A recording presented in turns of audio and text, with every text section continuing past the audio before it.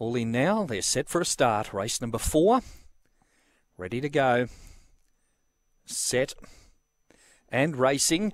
Out wide on the track, Dusty Pearl and hunting up early Galloping Flash. Into the straight the first time, and Galloping Flash takes over. A couple in front, Dusty Pearl second, followed by Monganui Bella. Then came Miss One Love, and back at the rear, My Girl Court. They head down the back, and Galloping Flash out by three. Dusty Pearl in hot pursuit. They've sprinted six on Monganui Bella, followed by My Girl Court, Miss One Love. Off the back, and Galloping Flash still a couple in front of Dusty Pearl trying hard. They've sprinted clear on Monganui Bella, but around the home home turn. Galloping Flash, Dusty Pearl goes up on the outside, takes the lead, and Dusty Pearl two lengths on the line. Second Galloping Flash, third went to Monganui Bella.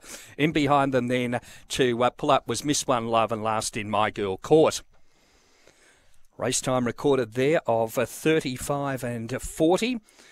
Number eight, Dusty Pearl gets home there from uh, number two, Galloping Flash, and one Monganui Bella, eight, two, and one. The race time around 35 and 40.